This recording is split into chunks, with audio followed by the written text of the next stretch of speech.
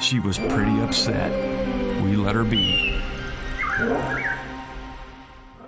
This is Lynn's first bow hunt. He's never even shot a rabbit, much less a buffalo with an arrow. His guide is using a camouflage umbrella to hide their approach, and unbelievably, it's working.